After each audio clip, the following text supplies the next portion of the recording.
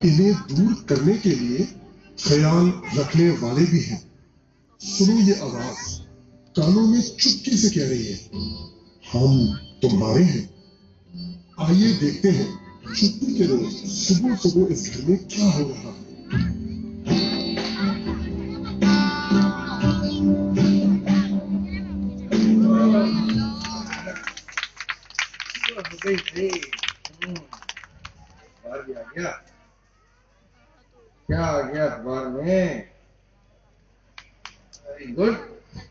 कपाल family mixture दुनिया की नंबर वन चाय का एजाज हासिल कर लिया।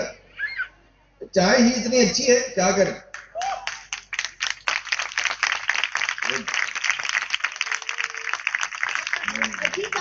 गए ये लो। जब देखो अखबार आँखों के आगे। हद तो ये है कि इतवार वाले रोज भी अखबार बहारों फूल बरसाए।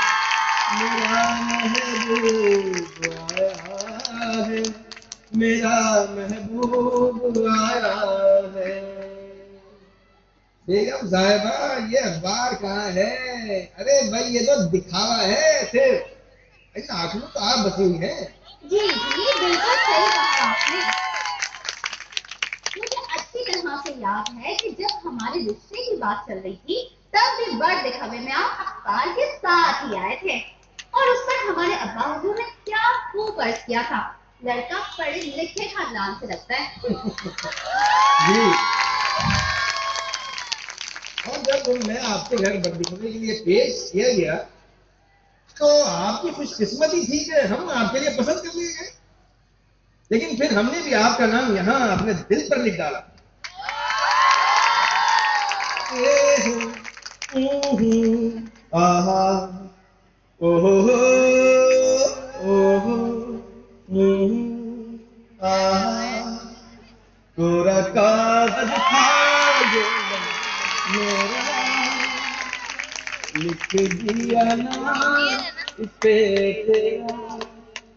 बस रहने दीजिए, मैं आपसे जब भी कुछ कहने के लिए आती हूँ, आप बस इसी तरह गाने सुनाते हैं। मैं क्या कहने के लिए आई थी आप? हाँ मैं आपसे कहने के लिए आई थी कि आपकी जो लाडली बहू है ना, वो अब तक सोई पड़ी है। और आपके वो बड़खुदा जब से उसे ब्याह कर लेकर आए हैं, बस उसी के होकर रह गए।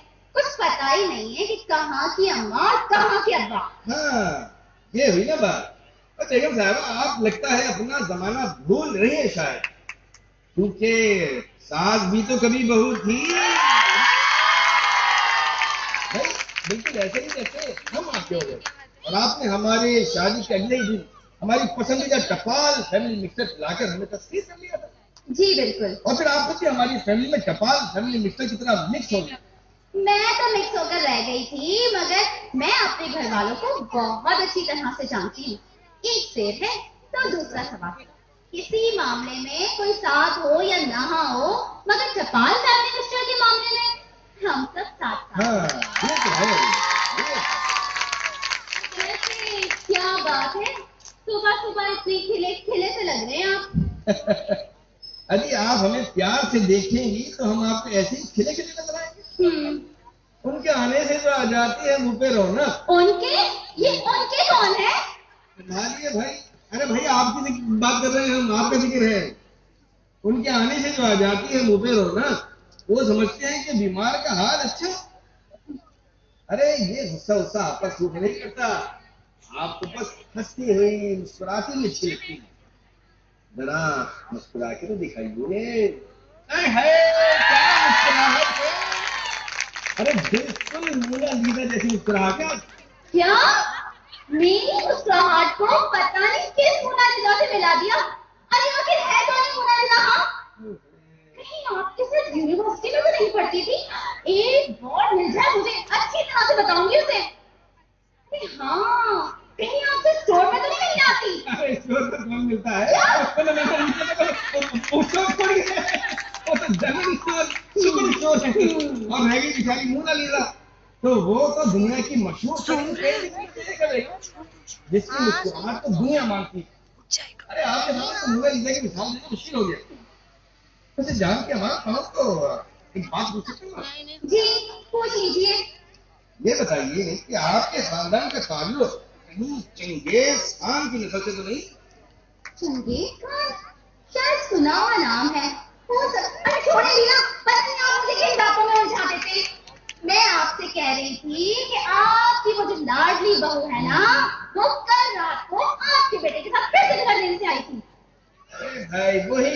भाई बहू के ये खत्म होने वाले नहीं है कुछ भी कर लीजिए अरे भाई अगर देर से आए थे तो क्या हो गया चले गए देखने खाना खाने या घूमने फिरने देखो बहू ने हमारे घर को घर बनाकर रख दिया कितना प्यार करती है सब घर वालों से और वैसे भी एक मुकम्मल घर ऊपर बनता है बेगम जब घर के तमाम लोग एक दूसरे को प्यार से अंडरस्टैंड करते हैं जो आप नहीं करती। देखिए बहुत हो गई बहू की तरफदारी अब मैं आपको कह देती हूँ अगर एक लफ्ज यह कहा ना तो अच्छा नहीं होगा। आपको तो कुछ नज़र ही नहीं आता कि आखिर इस घर में हो क्या रहा है। हाँ, ये आपने बिल्कुल दुरुस्त फरमाया कि हमें कुछ नज़र ही नहीं आता। इसलिए कि सबसे पहले इन आँखों में इन्हीं को बताया और ऐसा ना कोई सुन लेगा और जो आप जानते हैं कि आपको आँखों में बसाने के बाद क्या हुआ?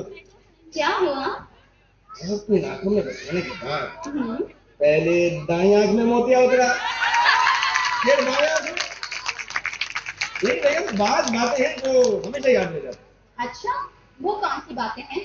तो यही कि जब हमारा ऑपरेशन हुआ था तो बहू ने हमारा कितना ख्याल रखा बहू का नाम आया और फिर ये सजा की बहुत पुरानी कहानी बहू का नाम तो बर्दाश्त है ही नहीं बात। अरे देखो देखो, बहू ने हमारा ख्याल रखा कि हमें खाने में क्या खिलाना है, परहेजी खाना कौन सा पकाना है, दवा कौन सी खिलानी है, आँखों में ड्रॉप कब डालने सब बहू ने किया। आप तो बस गुस्से से हमें, यूँ अगर बहू की तारीफों से आपका दिल भर गया हो तो मैं आपसे कुछ अर्ज़ करूँ? चलिए आप फरमाइए बहुत सारे फ़िक्र कर लीजिए आपकी वो जो बहू है ना लाडली वो तब तक सोई भी है। और मुझे पीनी है चाय। मुझे इतना बता दे मुझे चाय कौन पिलाएगा? ओहो बस इतनी सी बात है। इसमें फ़िक्र करने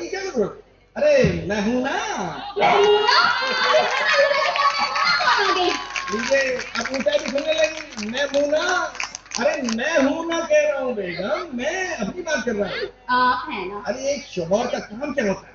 क्या होता है? खिदमत करना उनको चाय पिलाना उनके काम करना और मुझे मालूम है कि छुट्टी का दिन अगर सुबह सुबह कपाल फैमिली मिक्सर से छुट्टी के दिन का आगाज़ हो जाए ना तो दिन बहुत खुशगवार भी करता है।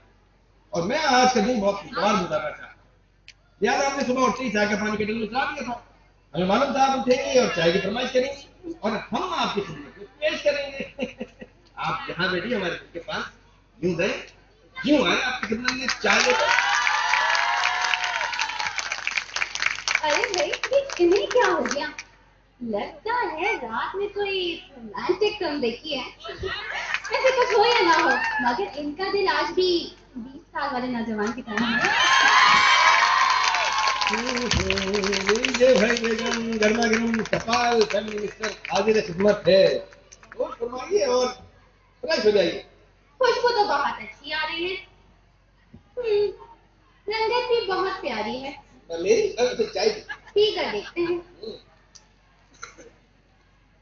हम्म।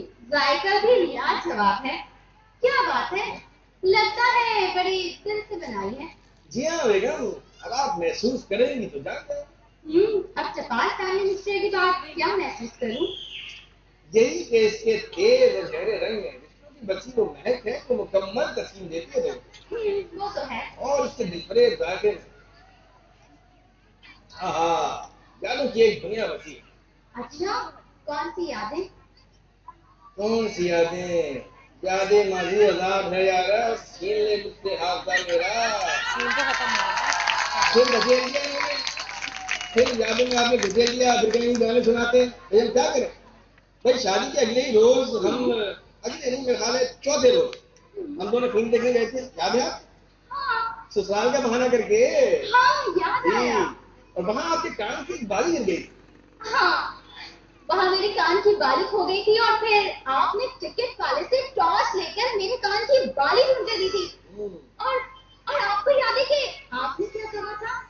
अरे हमने क्या कह दिया था आपसे? यही कि मेरा चाँद तो तुम ही। हो अरे झूठ कहा था चौधरी का है चौधरी का हाँ कहाँ चौधरी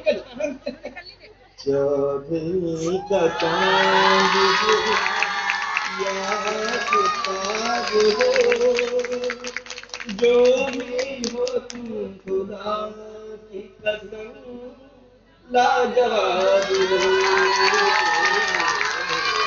चौधरी का चाँद हो अरे बस रहने दीजिए आप भी ना बस उम्र निकल गाने के शौक नहीं गए आपके हाँ। ऐसे में जब भी आपसे कुछ भी कहने की कोशिश करती हूँ आप समझ जाते हैं और मुझे गाने सुना सुना के घर में बैठा देते हैं। लेकिन आज मैं आपकी बातों में नहीं आने वाली। आज संडे है और आपने मुझे संडे मार्केट लेकर जाना है तो लेकर जाना है और बहुत सारी शॉपिंग करवानी है। कोई फ़ायदा नहीं। गाने बना दिया। आप तो थे। मैं छुट्टी के दिन में खर्चा जहाँ बिताना रोज़गार से करता रहे काम करता रहे लेकिन भी खिदमत करता रहे। है है नसीब मेरे क्या कर सकते हैं? भाई ऐसा कीजिए कि आज ऐसा मुमकिन है कि हम ना जाए? क्या? आप नहीं चलेंगे मेरे साथ? भाई आज हमारा मुँह नहीं हो रहा। आप ऐसा कीजिए कि आप चली चली जाएँगे। जी जी चली जाऊँगी। अगर आप नहीं जाएँगे ना तो मैं भी घर में नहीं बैठी रहूँगी मैं जा रही हूँ अकेले हाँ अकेले न जाना। हमें छोड़ कर तुम्हारे बिना भला क्या जिए अकेले न जाना। भाई बेगम बात ये है, जमाना बहुत खराब है, और इस कम उम्री में हम इन्हें अकेले तो जाने नहीं देंगे। शहर को जाना पड़ेगा। खर्चा भी करेंगे, बिरयानी भी खिलाएँगे। चाय भी पिलाएँगे। कपाल फ़ैन मिक्सर शहर है हमें